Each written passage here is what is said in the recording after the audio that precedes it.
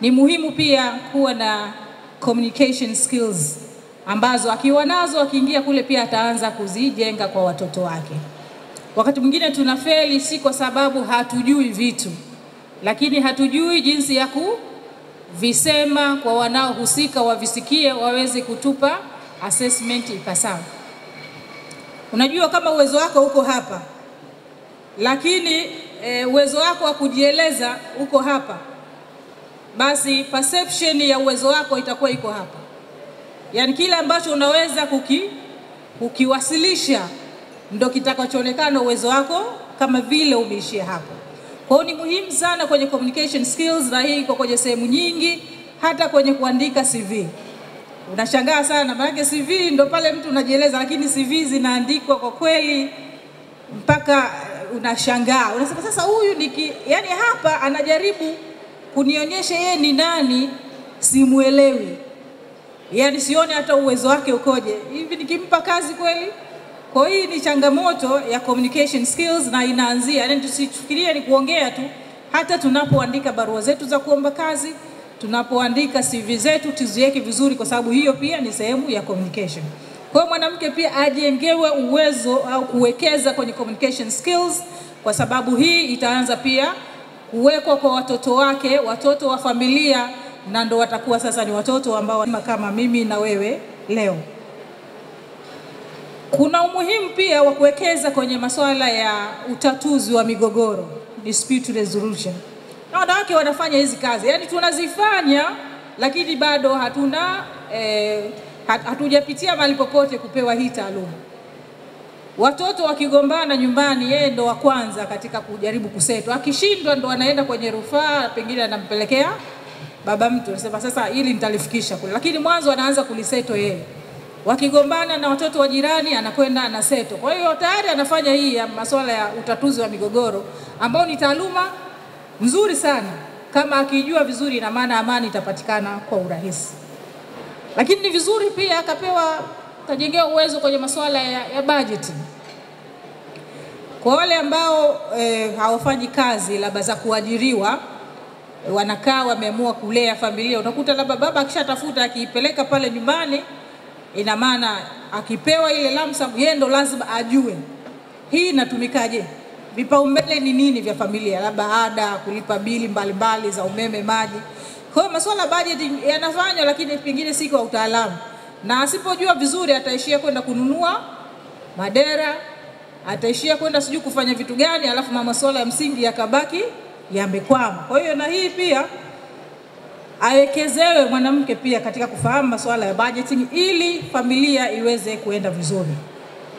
Lakini tunafanya delegation, asijichoshe sana, maanake akiamua yeye ni kuwa ni superwoman akafanya kila kitu, mwishoni ikifika jioni ndo zile visingizio, ana headache, amechoka sana, kwa sababu anashindwa wakati mwingine kudelegate kazi nyingine awape wengine, na hii ni sehemu muhimu pia ya kujifunza katika kumjengea uwezo mwanamke.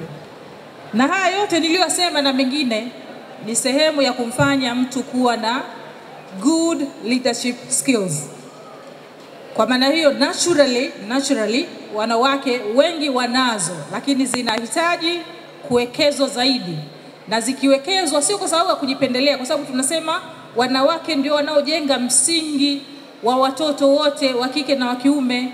Kwa hiyo hizi skills wakiwa nazo, ina maana automatically wataziprogram kwa watoto wetu ambao na wenyewe itawafanya sasa wanakuja kuwa eh, wa, wa, wa, watu wazuri katika maeneo mbalimbali makazini na wanapopata fursa mbalimbali za uongozi.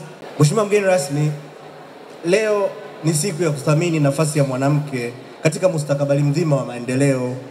Pia ni siku ya kujipima na kuona ni namna gani wanawake wanawezeshwa na Mheshimiwa mgeni rasmi, nafurahi kukutaarifu leo kwamba tuna jumla ya wanawake waajiriwa 783 katika shirika letu, na kati ya hayo walio katika management ni tisa, na tuna imani kupitia mipango mbalimbali mbali ambayo tumekuwa tukiiweka ikiwemo ya mafunzo mahususi yanayolenga kuwajengea uwezo wanawake, idadi hii itaongezeka. Ninatamani sana siku moja taasisi hii ikiwezesha wanawake wengi kujiamini zaidi na kuchukua nafasi za juu za uongozi na hata ikibidi watoke hapa na kutumikia katika serikali na taasisi za kimataifa. Hata hivyo, jambo hili linaweza kuchukua muda mrefu kufanikiwa endapo wanawake wataendelea kubaki nyuma bila kuchukua hatua au kutumia fursa mbalimbali ambazo tumeanza kuzitoa na ambazo tutaendelea kuzitoa. Mheshimiwa mgeni rasmi, kupitia maadhimisho haya ninapenda kutoa wito kwa wanawake wa TPA kuchukua hatua za kujiendeleza kielimu katika fani zao ili tuweze kuwa na wanawake wengi wanaofanya kazi katika nafasi za uongozi ndani ya taasisi na nje ya taasisi. Na hili mimi mwenyewe nitalisimamia kuhakikisha yeyote aliye tayari anawezeshwa kusoma ndani ya nchi au nje ya nchi ili kujiongezea sifa za kitaaluma ili kujiongezea sifa za kitaaluma na maarifa yanayotakiwa kuleta mabadiliko chanya. Katika mwaka wa fedha wa 2023-2024 tumetoa nafasi za ufadhili wa masomo ndani ya nchi kwa jumla ya wanawake ishirini. Kati ya hao sita wanasoma nafasi za uzamili yani masters, na watatu wanasoma shahada ya kwanza na kumi na moja wanasoma stashahada yani diploma. Wote hawa wanasomeshwa nchini. Tunaye mwanamke mmoja mfanyakazi wetu ambaye anafanya masomo yake ya uzamili yani masters degree nje ya nchi. Rai yangu kwa wanawake wote wa TPA, endeleeni kujitokeza kwa wingi kuchukua fursa hii ya kuwasomesha. Mheshimiwa mgeni rasmi, fursa hii tunapoitoa kwa wanawake tunawalipia ada pamoja na gharama zote za ndani ya nchi au nje ya nchi, lakini wafanyakazi hawa wanawake wanaendelea kulipwa stahiki zao zote ikiwa pamoja na mishahara. Niseme tu kwamba hili naendelea kuwasisitiza, fursa bado ziko wazi. Popote pale wanapopata admission ndani ya nchi au nje ya nchi, tunawasihi mchukue fursa hiyo. Haikuwepo mwanzoni, tumeileta na s- hatuna uhakika kwamba itaendelea kuwepo wakati wote. Kwa hiyo nawasisitiza sana, tuache mambo mengine mengi, twende tukasome, turudi kuja kuchukua nafasi ambazo tunawataka mzichukue, hasa katika level ya management. Mheshimiwa mgeni rasmi, naomba nikuhakikishie kuwa bodi ya wakurugenzi na management ya mamlaka ya usimamizi wa bandari itaendelea kuwekeza kwa wanawake. Tunatambua kuwekeza kwa mwanamke ni kuwekeza kwa jamii. Ndugu mgeni rasmi, mabibi na mabwana, tukumbuke jamii yetu ina wanawake na wanaume.